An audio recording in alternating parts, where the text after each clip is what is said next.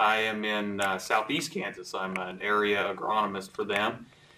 My subject matter is agronomy, and I focus a lot on cropping systems and forages. So we have uh, a pretty diverse region in southeast Kansas. We have uh, about split 50-50 with crops and, and livestock.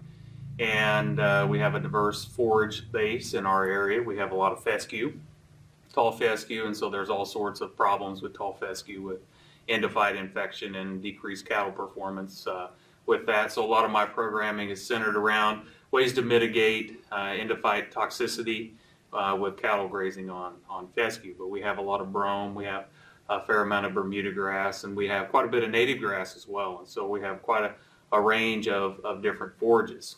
And so the other uh, piece that really is a, is a part of my extension program is the, uh, the livestock integrated with the cropping systems as well. And so we do uh, look at some cover crops and uh, their utilization as a alternative forage as well as we have uh, of course a decent amount of wheat. I go as far west as uh, south central Kansas in my area and there starts to get uh, quite a bit more wheat grazing and so we spend a lot of time uh, looking at variety performance, best yielding wheats from a grain side but also we focus some on the livestock grazing piece of, of wheat as well. And so a lot of my program really focuses around cropping systems, forages, and how they integrate and uh, and how that really fits into the the CAP uh, grant that we're doing here is these mitigation strategies that we're we're dealing with with uh, adverse weather conditions.